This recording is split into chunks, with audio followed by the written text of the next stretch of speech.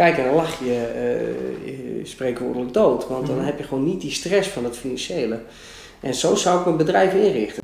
Hallo allemaal, mijn naam is Mark Beija en welkom bij de tweede aflevering van Groeipraat.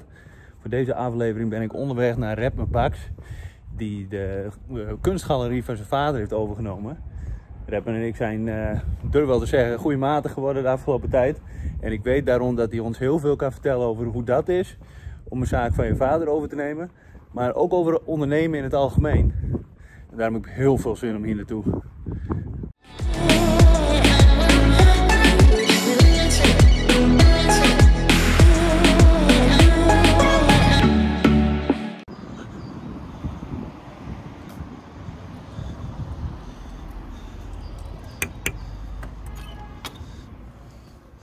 Hoi. Start de band. Mooi nou, ja. Nou, ik ben een maat van Dijk. nee, maar uh, ik ben uh, rapper en galeriehouwer. officieel sinds, nou, mensenheugenis ben ik hier al, 98 of zo. Dus die geboren? nou, zo'n beetje. Tussen de kunst en de lijsten opgegroeid. En ja, ik ben het nou ook van mijn vader, mijn vader is het bedrijf begonnen, maar daar heb ik van overgenomen. En um, ja, wie, wie ben ik verder? Ik ben uh, jonge vent, heb heel veel plekken gezien. Ik heb jaren in Belfast gestudeerd, van alles uh, beleefd en zo. Maar het was altijd wel duidelijk dat ik ondernemer wil worden. Hè, want daar, daar zitten we hier vanmorgen volgens mij voor. Dus, uh, ja. ja, ik definieer mezelf wel als ondernemer, maar ook als iemand die midden in het leven staat en, en van leuke dingen houdt. Ik heb ja. algemeen geschiedenis gestudeerd onderwijsakte gehaald, omdat ik ook altijd dacht van, nou ja, als, als de, de, boel klapt, dan kan ik altijd nog voor de klas, zeg maar. Dus een stukje, een stukje veiligheidsnet. Ja. En ik heb altijd gedacht, ik uh, hou die baan ernaast uh, aan. Maar uh, ja, een beetje de, de 80-20 regel, zeg maar. Als je gewoon 20% van je energie in iets steekt, dan levert het 80% meer op. Mm -hmm. Ja, er zijn allemaal regels voor, maar ik, wou, ik wou het effectiever inrichten. Ik wou hiervan bestaan. Dus daar heb ik allemaal doelen toe gezet dat het bedrijf sustainable is en dat ik ervan leven kan. Ja. was het hulpje van mijn vader. Laten we het even heel cru zeggen. Ik werkte in het bedrijf. En ik miste die verantwoordelijkheid vroeger wel. Ja, ik had er ook wel moeite mee om bijvoorbeeld af te studeren ik was toen 20 jaar, nou toen ben ik een jaar naar Belfast gegaan om mezelf ook een beetje te ontdekken. En ik vond mezelf te jong om een jaar voor de klas te staan. En het was wel lekker, want je werkte voor je vader natuurlijk, die is eindverantwoordelijk. Je mocht wel dingen doen, maar je hoefde niet financieel nog niet te dragen. En kon heel veel dingen ontplooien en uitvinden op die manier. Ik heb ook jaren in de kroeg gewerkt en zo, vond ik hartstikke leuk. Maar, um, heel wat anders. Ja, maar ik, ik, ik begon op een gegeven moment rond de 20 22 wel te merken van hé, hey, ik, uh, ik wil wel wat meer autonomie. Uh, ik wil een eigen koers varen. En ik heb nou, twee jaar geleden of zo nog een baantje ergens gehad. Maar dan ben ik gillend weggegaan, omdat ik dus uh, blijkbaar alleen voor mezelf wil zorgen. Ja, en op eigen benen wil staan en niet onder een baas kan werken. Op die manier. Snap ik. Ja. En die kunstachtergrond, of die geschiedenisachtergrond, merk je dat terug in, in, in wat je nu doet? Ja, nou ja, ik, ik, ik heb natuurlijk, uh, nou, kom uit een onderwijsfamilie, dus het is altijd wel een beetje van, goh, er lag mijn interesse ook wel, niet, niet vanuit de, de, de opvoeding of zo, maar meer van, uh, goh, dat lijkt me gewoon enorm leuk. Ik heb ook veel jeugdtraining gegeven, bij de voetbal en zo, vond ik het al leuk. Nou, toen ben ik op mijn 17e, was ik de jongste op opleiding, uh, stond ik voor de klas voor 15-jarige kinderen. Dat was dan wel een beetje vreemd. Wel cool. Ja, dat was wel heel leuk. Nou, maar die opleiding ook gewoon afgemaakt, dat vond ik altijd wel heel leuk. Ja, uh, geschiedenis en, en kunst, dat gaat hand in hand. Hè? Dus ik, ik heb misschien ook wel geschiedenis gekozen, omdat ik dacht van, goh, kunst, geschiedenis, geschiedenis. Daar lag mijn interessegebied dan wel. Ik mocht ja. als zo'n kleine jongen met mijn vader mee naar de kunstenaars. En uh, die heb ik dus zo al leren kennen en nu werk ik uh, met ze samen. Dus ik, ik heb ook wel een voorsprong in die zin, omdat ik sommige kunstenaars al jarenlang ken. al 20 plus jaar. Dus dat, daar ben ik gewoon tussenin opgegroeid. In algemene geschiedenis, nou, daar lag wel een stukje interesse. Ik had alleen moeite met lezen. Uh, niet dat ik niet kon lezen, maar ik had veel te druk met andere dingen. Ja. Dat is een beetje die, die verantwoordelijkheidszin die ik vroeger wat minder had, zeg maar. Uh, nou ja, ik was wel heel verantwoordelijk, maar uh, ja, wat ik zeg, ik vond gewoon alles leuk. Ik zei ook nooit nee, dus ik was altijd overal actief. En daardoor miste ik een stukje focus, laat ik het zo zeggen. Maar gelukkig heb ik dat geschiedenis ook gewoon wel afgemaakt. En merk ik nu dat ik daar wel raakvlakken bij mijn, bij mijn vak heb. Ja. Had je een bepaald doel toen je het bedrijf begon? Je dacht van, dat, daarom begin ik dat bedrijf? Uh, nou, het was voor mijn vader en ik wilde dat voortzetten. Dus, en toen ik hier instapte, was het een dikke vette crisis. Toen ik hier, we zijn een tijdje VOF geweest, een jaar of zes lang, 2013, 7. Zes jaar ongeveer, 2012. Ja. Nou, uh, toen werd de VOF en toen uh, had ik inderdaad, nou ja, wel mijn vader ook, dat ik een businessplan ging schrijven, leren en zo. En, en, moeilijk, moeilijk, want ik moest het bij de bank indienen. Nou, met de bank kwamen we niet uit. Ik zou altijd nog dat businessplan schrijven, zeg maar. Maar ondertussen uh, was ik wel, waren we heel hard bezig met social media om, om zichtbaar te zijn en, en vooral wel te laten zien dat wij een, een, mooi bedrijf hebben met goede dingen. We hebben heel veel dingen geëxperimenteerd en gedaan in die tijd. Die hebben met volle verstand samen beslist. Maar later ben ik wel gaan denken van oké, deze koers zijn we gevaren, kunstcadeautjes bijvoorbeeld. Ja. Voel ik niet zoveel voor. Dat ja. brengt niet zoveel handel op, moeten we helemaal opnieuw beginnen. En mijn vader is ook iemand van duizend en één idee. Dus ik lijk in die zin ook al op hem. Heel veel prikkels. En heel...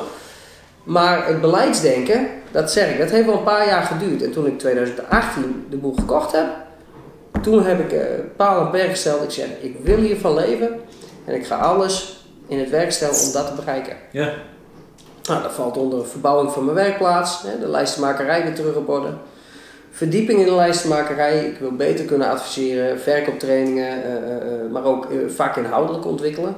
Ik lijst al 15 jaar, 16 jaar lijst ik in.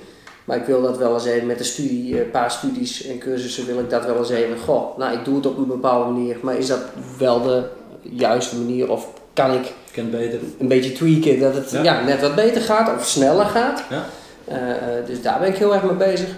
Uh, ik, ik, denk dat daar wel een marketingvoordeel uit te halen is. Nou, en in de galerie, het, niveau van exposities is heel erg omhoog gegaan. niet dat degenen die hier exposeren niet goed genoeg waren, mm. maar dit zijn gewoon wat, wat, wat bekendere namen. Ja. ja, bewezen kunstenaars, laat ik het zo zeggen. En uh, dat zie je ook uh, terug in de, de, bezoekersaantallen en zo, dat het allemaal goed gaat. En de kunstverlening, ja, dat is het moeilijkste, want dan moet je acquiseren met de deur uit en zo. Ja.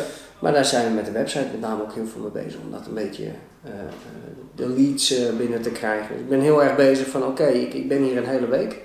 Ik heb wat kleine baantjes bij gehad, maar die heb ik allemaal opgezegd, puur om... Nou, ik gun mezelf vijf jaar om het echt te bereiken. Dat ik hier echt van leven kan. Anders geen knoop te hakken. Dan moet je misschien een dag voor de klas of zo. Ja, ja. Na twee jaar is al gebleken dat het niet hoeft. Mooi. Dus, uh, Goed zo. Ik ben nog wel straatarm, maar zeer gelukkig. Oké, okay. belangrijk hè? Ja. Maar uh, de laatste keren dat ik, dat ik toch in dienstverband was, ben ik daar een beetje uh, van geschrokken. Dat ik moeite had met, nou niet zozeer met autoriteit en dat niet, mm maar de werkdruk, de werklast die daarbij kwam kijken. Ik, ik voel me nou helemaal heel, altijd heel erg verantwoordelijk. Dus eh, eh, nou, ik had er gewoon heel erg moeite mee met die rolverdeling. Ik denk, eh, ik heb wel voor de klas gestaan, ik zou dat wel weer willen doen. maar de ene leraar bijvoorbeeld, ik, ik, geen stereotyperingen, maar gewoon mhm. zoals ik het voelde. De ene kon om half vier smiddag zeggen op vrijdagmiddag zo, lekker weekend, de deur zit dicht en het is klaar. Ik kon dan tot zondagavond nog aan het werk wezen, gewoon in mijn hoofd om leuke lessen voor te bereiden en bezig te zijn. En, en dus ik, ik stort me overal zoveel in en voel me ergens zo verantwoordelijk voor. Dat ik denk van ja, waarom, waarom doe ik dit nog? Waarom heb ik er nog een baan naast? Ik wil gewoon lekker van die vrijheid genieten. Dat ik wel heel hard aan het werk ben. Want ik geloof heel erg in hard werken.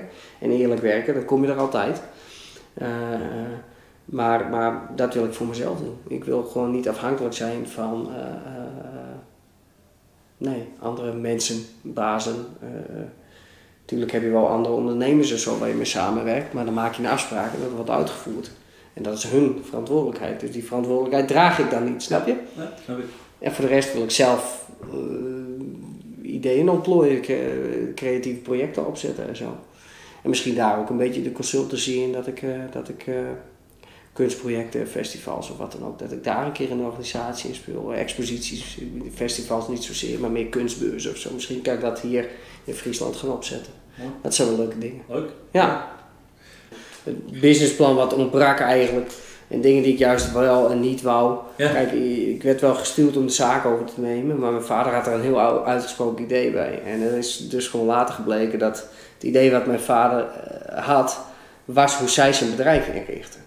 En uh, dat hoeft helemaal niet te zeggen dat ik het zo Ja? heb willen inrichten. En dat is me Heel toch vaak wel. bij eh, overname van nou, daar, daar botsten we dus Ja. ook heel vaak. Omdat Ja. ik. eh, nou, en hij ziet nu, eh, eh, ja, het wordt nou ook wat een oudere sentimentele man natuurlijk, maar eh, hij is ook al geëmotioneerd dat ik eigenlijk weer terugging naar het begin zoals de zaak ooit geweest is. Met een Ja. grote werkplaats en de ambacht. toch ja, de ambacht weer meer in het vaandel en, en hè, veel daluren waarin je die, die lijsten dan kan gaan maken en zo. En dus minder in een vorm van, hij had vroeger een reclamebureau erbij, maar minder in een nevenfunctie daarnaast. Ja. Hè, dus een stukje focus in het bedrijf, waardoor je volgens mij ook, ook, ook veel gelukkiger bent. Want je hebt maar zo'n emmetje en dat kan niet overlopen. En dat ben ik nu al een paar keer tegengekomen. Zeker met de markt van de laatste maanden. Ja. Eh, voordat eh, de, de crisis hier, eh, de coronacrisis hier eh, intreden deed. Ja. Het liep me helemaal over de schoenen. Hè? En het was veel te druk. Dus dat is ook weer de keerzijde van de medaille. Je kan ook te snel Ja. groeien. Maar eh, ehm, aan de andere kant, eh, gelukkig maar dat het zo druk was. En dat er gewoon een eh, mooi inkomen uit eh, voortvloeit. Ja. Ja. Ik wil het bedrijf heel erg sustainable maken. Dus het moet eigenlijk die 2008-crisis heeft al overleefd. Deze coronacrisis, die wordt keihard. Dat gaat echt nog weer, wij als kunstsector, en dat klinkt altijd weer alsof wij bedelende kindjes zijn, maar dat is niet zo. We zijn een wezenlijke belangrijke sector in de samenleving. Omdat- Ja, nou ja, dat kan altijd even gebeuren. Ruppenbaks, goedemorgen.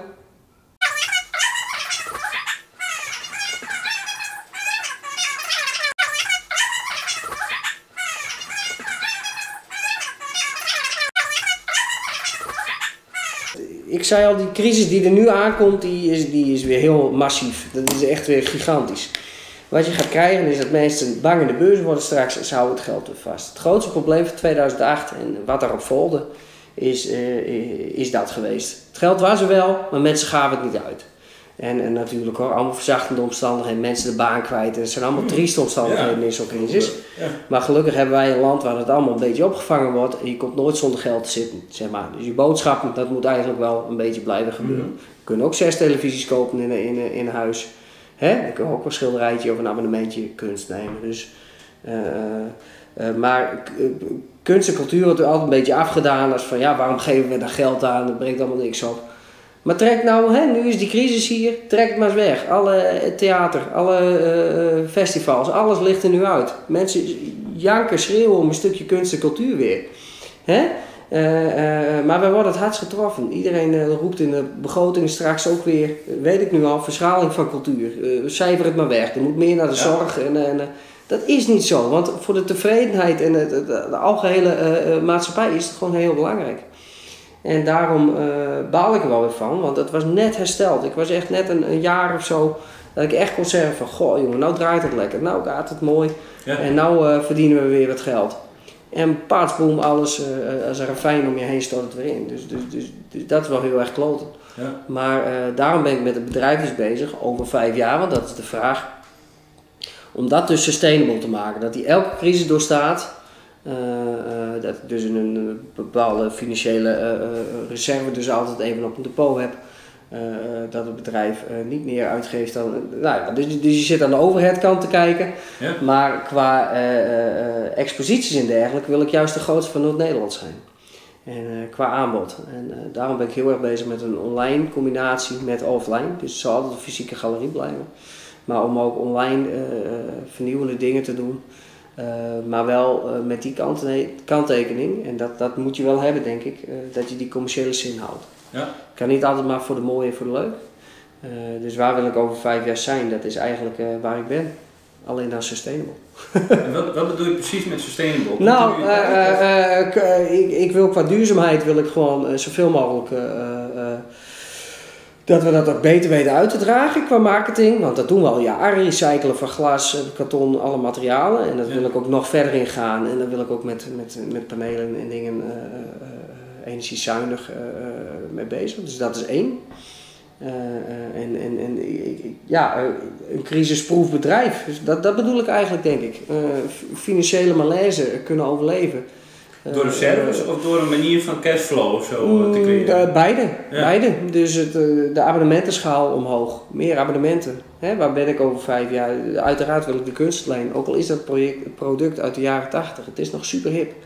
Dus daar wil ik ook weer gewoon een groei realiseren. En dan Ja. ben ik er eigenlijk al. Dus als ik daar vijf jaar vooruit trek, nou dan kan ik Want het, eh, mensen kunnen bij jou een abonnement afsluiten, eh, dat, dat de kunst hangt en daar betalen ze dan een, een Ja. bedrag per maand voor. Dus je Ja. hoeft eigenlijk niet een kunstwerk te kunnen kopen om het in huis te hebben Nee. tegenwoordig meer. Kijk, we zijn altijd, eh, zo hebben we ons altijd genoemd, een laagdrempelige galerie. Je moet hier makkelijk eh, kunnen binnenstappen. En eh, nou, we, hebben het wel over de onbekendheid van, van eh, hè, onbekend maakt onbekend. Mensen weten niet wat kunst is voor, Nee. voor hun gevoel. Een drempel. Eh, ja, nou, wij, wij doorbreken drempel allereerst omdat je voor een tientje per maand al eh, drie schilderijen in huis kan. Oké. Ja, dus, dus eh, je moet gewoon kunst eens op proeven proberen. En dat doen wij door middel van zo'n abonnementje, wat hetzelfde kost Ah. als een abonnementje Netflix of Spotify. Juist. Ja. Ja. En eh, op die manier, kijk, het mooie is, als ik dan meer klanten heb, staat mijn werk ook breder uit. Zal het ook vaker verkocht worden. Dus daar hangt heel veel samen met en die kunstutleen, maar ook met het aanbod wat ik heb. Dus ik ben ook heel erg bezig met over vijf jaar wil ik eh, een bepaald kunstaanbod hebben, wat misschien niet meer 3.500 kunstwerken is. Maar wat kwalitatief wel een beter aanbod is. Nou, zo ben ik een beetje aan de knoppen aan het draaien. Maar ik geloof niet. We hebben het bedrijf al bijna 30 jaar op dezelfde manier. Ja. En eh,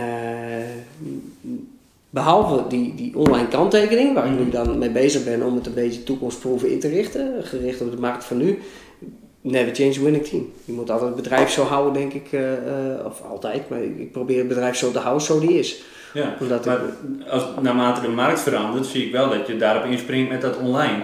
Dus Ja. misschien moet je het gevoel hetzelfde houden, of Ja. de, de kernwaarden, ja, maar de, de, de marktbenadering, eh, die zie ik je wel degelijk ja, veranderen. ja, en dat is heel erg in de, in de, in de marketinghoek en in de, inderdaad de, de, de, de, de, leads binnenkrijgen en de call to action. Zeg maar, de, de, hoe zeg je dat? De, de, de manier waarop klanten je bedrijf binnenkomen, daar ben ik heel erg eh, bewust naar aan het kijken. Ja. En dat is de enige knop waar ik aan draai, want ik, ik geloof heel erg in eh, lijsten blijven mensen wel bestellen. Een mooi rouwstuk of een, een voetbalsportshirt ingelijst of een mooi kunstwerk wat jij in Cuba gekocht hebt. Dat moet nog altijd opgerold in de koffer. En dat Mhm. moet nog altijd ingelijst. Ja. Eh, dat ga je zelf niet doen, dat kan iemand, dat kan een specialist, kan het beter. Dus dat blijft. Eh, kunsthandel zal ook altijd blijven. En eh, er zijn altijd mensen die roepen, ja, maar we hebben allemaal digitaal, we kunnen alles printen. Kunst wordt gemaakt. Er wordt zoveel kunst gemaakt, er wordt steeds meer kunst gemaakt. Dus dat zou ook afgenomen worden. Hè? Dat, dat heeft er ook mee te maken. Kwaliteit zal erin eh, zich ook altijd onderscheiden. En daar probeer ik dus de beste kwaliteit te tonen. Dus dat blijft ook altijd wel. Ik ben wel aan het kijken van over 20 jaar, 15 jaar. Ja. Is kunst wel, heeft kunst wel identiteit? Tuurlijk stel je dat soort vragen wel. Maar Mhm. zo ver hoef je niet te kijken. Want ik geloof nog altijd wel dat het wel zal blijven. En eh, die abonnementjes, ja, dat, dat valt dan samen met, met, met, met, met, dit bedrijf. Ja. Zolang dat dit bedrijf eh, eh, bestaansrecht heeft, zeg maar, zal die abonnementjes, dat zal ook altijd aftrek hebben. Dus ik geloof dat dit bedrijf best wel toekomstproef. Het is eigenlijk wel een hip bedrijf. Ja, mooi. De vorige crisis was hard. En eh, in die tijd, eh, nou, ik ben een goed klant bij deze bank, dus ik zal de naam niet noemen. Het is nou weer goed allemaal. Maar ze wilden me niet stuiven lenen. Jonge jongens, familiebedrijven en alles is, is, is gewoon een nek omgedraaid. Ja. Onterecht, want die, die zaten in, in cashflow problemen. Mhm. Maar die, alle bankkredieten werden in die tijd eh, hals over kop ingetrokken. Bedrijfsovernames werden gewoon niet toegestaan, et cetera. Terwijl sommige bedrijven gewoon al 40 jaar bestonden. En eh, voor ons bedrijf geldt hetzelfde. Die bank heeft nooit een cent tekort gehad. Sinds de oprichting niet, geen enkele maand. Maar ik mocht er niet in. Mhm. En eh, dat zit me lelijk in de weg, ja. Daarnaast heb ik wel wat studieschulden, dat soort dingen heb ik wel opgebouwd, dat weet ik wel. Maar daar sta ik nu ook voor. Ben ik elke maand aan het afwassen. Is allemaal wel eh, aan de kant. En nog steeds mocht ik er twee jaar geleden van de, van, de, van de bank ook nog niet instappen. Ik had er zo geen begrip voor. Mijn neven hebben het mij geleend. Mhm. Dus waar een wil is, is ook wel weer een weg. En een stukje geluk hoort daar misschien ook bij. Want mijn neven hadden dat, eh, die staan garant. Dus dat Ja, is maar er wel mooi. stappen. Ja, ehm, maar eh, ja, qua ondernemen merk ik gewoon heel veel dat, dat financieel eh, gewoon heel veel harders zijn. En dan kan je het nog zo goed uitdokteren. Want er zijn ook mensen die als ondernemer beginnen, die denken dat ze het beste idee van Nederland hebben, maar die hebben financieel niks doordacht. Kijk, ik stapte wel in een warm bad. Hè. Ik had een bepaald klantenbestand. Had ik nu nul klanten gehad, had ik dit bedrijf waarschijnlijk niet begonnen. Doe je het voor het geld? Eh, ik doe het voor een mooi leven. Wat betekent dat? Ehm, gelukkig zijn met wat je doet, daar geloof ik heel erg in. Dus eh, ik ben nu echt super blij dat ik dit kan. En Ja. daar ben ik ook heel dankbaar voor. En ik werk met mensen. Ik maak mooie dingen voor klanten. Ik heb eh, sommige uitleenklanten 20 plus jaar. Eh, eh, je werkt met kunstenaars samen, wat echt een hele bijzondere, creatieve, leuke groep mensen is. Dus, dus, dus dat is dus gewoon hartstikke leuk. En eh, daarnaast ben ik altijd wel wat streberig. Ja, wat ik zeg, ik wil me bewijzen in Noord-Nederland. Ik wil me bewijzen in Nederland. Niet meteen dat ik de grote kunstbeurzen op wil, want daar ben ik gewoon te klein voor als bedrijf. Maar eh, ik wil wel hele mooie dingen tonen en mooie kunstwerken in, in Zuidwest-Friesland of in Friesland tonen. Dus dat is gewoon geluk, ja. Dat is een mooi leven. Zie je Ja. jezelf meer als curator of als, als ondernemer? Eh, ja, dat, dat, nou, dat was de laatste tijd heel erg mee. Ja. Ik ben heel erg bezig met het, het eh, presenteren op hoog niveau momenteel. En ik merk dat ik dat enorm leuk vind. Maar Mooi spul bedoel je? Ja, Ja, ja, ja. ja, zeker. Die Baba de Esprit, wat nu ook hangt, dat is de subtop van Nederland. Hè. Dat is echt, dat gaat internationaal. Dat is hartstikke mooi werk. En ben ik echt blij, eh, net als Hannibal, I love it when the plan comes together, weet je wel. Je bent blij als die mensen hier hangen en dat het gezien wordt. Ja. Eh, maar dat is de curator in mij. De ondernemer zegt wel van oké, dit is het nuchtere Noord nog altijd. Ik zou meer publiek willen aantrekken. Ik zou eh, meer willen verdienen. Dus, dus ja, ik ben wel in die zin een moderne art, art curator, zeg maar, dat ik, dat ik wel aan het financiële plaatje denk. Maar eh, het lijkt me bijvoorbeeld ook heel mooi om op latere leeftijd ooit nog een keer museumdirecteur of zo te zijn. Ja, ja. Lijkt me wel heel cool. een sluit de ander ook niet uit natuurlijk. Dus misschien eh, ooit eens bijbaantje. Ben hier. nee, maar gewoon, ik vind tentoonstellingen inrichten. Je kan solliciteren. Ja, ja, ja, ja. Maar eh, tentoonstelling inrichten is iets waar je hart ligt, wat je passie is, wat je mooi vindt. De afgelopen een paar weken geleden heb ik deze tentoonstelling ingericht met twee zeer kritische kunstenaars. En ik zet het op een bepaalde manier neer. En ze staan erbij te kijken en ze blijven kijken, zeg maar. Hè? Ze zijn blij met wat je maakt en wat je neerzet. En ja, dat, dat vind ik gewoon heel cool om, om, om te mogen doen. En dat doe ik hier eh, acht keer per jaar. Dus dat vind ik heel leuk. Eh, maar ja, ik heb daar altijd een bij. eh, Ik, ik hang de beste kunstwerken ook op de beste plek, omdat ik weet dat die het makkelijkst verkopen, et cetera. Dus er zit wel een stukje commerciële zin zit er ook wel in. En ik hang hier gewoon niet op wat niet verkoopt. Als het niet verkoopt, dan komt, komt het hier niet binnen. Hè? Dus, dus ik ben wel degelijk ondernemer, ja.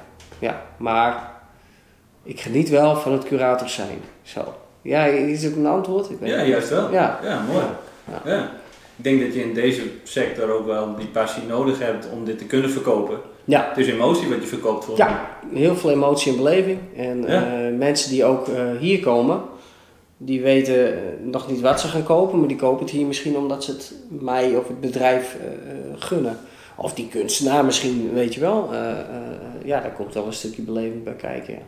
Ja. Als je nou ehm, deze, misschien het, het- vanuit het oogpunt van welke eh, uitdagingen verwacht je nog tegen te komen.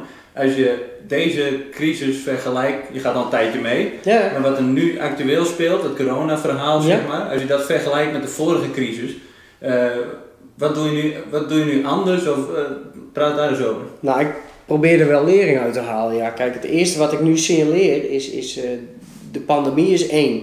En dat is algehele paniek. Eh, eh, en heel veel ondernemers handelen momenteel uit paniek. Die gaan allemaal nieuwe dingen eh, bedenken.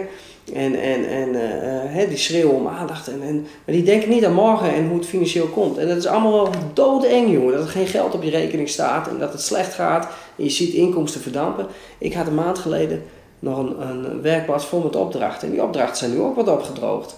Dan heb ik wel een nusje geld op rekening, maar er komt niks bij. Dus tuurlijk, dat, dat kan wel stress veroorzaken.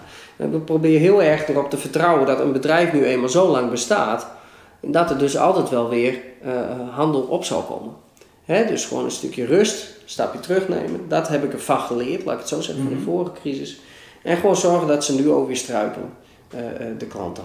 Hè? Eh, figuurlijk ook, niet letterlijk, Ja. maar eh, kom met leuke, eh, innovatieve dingen die ook doorzet. Dus ga niet op de, de, de, de, de eendagsvliegen-politiek eh, leunen, maar kom gewoon met, met, met mooie ideeën waarvan je denkt van oké, dit kan, eh, kan ik wel doen. Bijvoorbeeld eh, hè, ons nieuwe YouTube-kanaal ben ik dan een beetje mee bezig. Ik vind dat, merk ik zelf, enorm leuk. Het kost me drie kwartier in de week om een film te monteren. Nou, ga ik blijven doen. Vind ik gewoon hartstikke leuk. En ik merk ook aan de reacties van de mensen. Dat ja, een beeld zegt meer dan duizend woorden. Dat zegt elke fotograaf dan wel weer. Maar, film is dat ook. Eh, eh, we zijn ook met een nieuw Instagram kanaal bezig. We zijn gewoon verschillende dingen nu aan het doen dat ik denk van oké, nou daar hebben we wat aan. En zo'n rustperiode, dat is wel doodeng. Maar je kan het ook naar je hand zetten. Je kan het gebruiken om je winkelinrichting weer eens helemaal te handen te nemen. Je kan het gebruiken om uh, wat kunst uh, te gaan onderverdelen. Dat je denkt vanaf kleren, bijvoorbeeld je hebt een klerenwinkel, om, om te gaan zeggen: Oké, ik ga een bepaalde voorraad nou eens even afschrijven. Die zet ik in de uitverkopen, wat nog. Ga nou eens even kijken van: Oké, wat zou je binnen je bedrijf weer willen veranderen? Ga een keer naar de stort. Uh, maak je werkplaats weer eens heel mooi schoon. Zie je, dat zijn allemaal dingen die zorgen dat je je tijd nuttig besteedt. Ik ben momenteel bezig mijn hele kunstvoorraad aan het digitaliseren en op de nieuwe website aan het mm -hmm. publiceren. Er stonden 700 op of zo, er komen straks 2500, 3000 op te staan. Het ziet er mooi uit, jongen. Je kan een hele dag straks op Baks Kunst kijken. Vind je heerlijk? He, maar, maar, maar, ja, dat kost klauwen met tijd, jongen. En ik, ik heb daar eh, als een bord vies eten omheen gelopen. Ik denk, oh, moet nog, moet nog. Dat ging als een, molensteen om mijn nek hangen. Want dat is hartstikke, oh, dat moet nog. En die website, dat lukte. Nu heb ik de rust en dat kan heel eng voelen dat er geen geld komt. Maar je hebt nu wel de rust om dat rustig uit te voeren, zodat je over een paar maanden sta je er weer picobello klaar voor. En die klant die vergeet je niet, echt niet. Ook al is het nu in paniek en de mensen raken in paniek, ze zullen altijd aan je blijven denken. En zolang jij maar met mooie positieve berichten komt, dan komt het vanzelf weer op orde. Mooi. Als je, als je nou ehm, voor de mensen die kijken en die of misschien wel startende ondernemers of mensen die denken om erover denken om te mhm. starten, of misschien mensen die al jaren ondernemen en, en helemaal vastzitten in wat ze al jaren deden. Ja? Uh, als je nou één echt goede tip zou hebben, misschien wel twee voor beide groepen, uh, wat zou dat zijn? Zorg voor uh, recurring inkomsten. Dus terugkerende inkomsten die er elke maand komen, zodat je die stress niet hebt. Heb je een, een bloemenzaak, noem maar wat, waarbij je steeds nieuwe voorraad moet inkopen, veel kosten hebt. Zorg nou dat je in ieder geval een bepaalde nou, wat ik zei, bloemen op het werk of wat dan ook, dat je een bepaalde abonnement binnenhaalt. Ben je kapper, zorg dat je in ieder geval een of andere jaarabonnementjes creëert. Waarbij je gewoon in de basis een paar honderd euro inkomen creëert, waar je altijd op kan terugvallen. Daar kan je gas, water, licht van betalen, je, je, je, je, je, hypotheekje of je, je, je huur kan je aan bijdragen. Of je kan zelfs het op zo'n mooi niveau krijgen. Ik hoop dat ik dat ooit, ooit ook bereik, dat daar mijn inkomen uitkomt. Kijk, en dan lach je uh, spreekwoordelijk dood. Want dan mhm. heb je gewoon niet die stress van het financiële. En zo zou ik mijn bedrijf inrichten. Dat is tip 1. En het andere is, doe alsjeblieft wat je leuk vindt. En als je, als je er ergens stress van hebt of het gaat je boven het hoofd, stap er niet in. Weet je wel? Uh, je moet wel uh, een bepaalde ondernemersgeest hebben.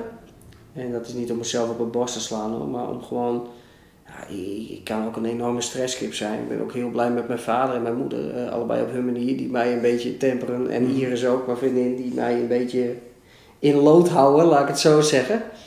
Maar stress is op zich is niet erg ergens van. Maar het rationeel kunnen blijven denken, en dat doe ik ook wel een beetje met meditatieve dingen en zo, gewoon rustig blijven, weet je dat is heel belangrijk. Dus als jij het echt enorm leuk vindt en je denkt van ik heb met bepaalde kralen armbandjes en dat vind ik prachtig, dat kan ik zo leuk en op Instagram heb ik wel duizend volgers.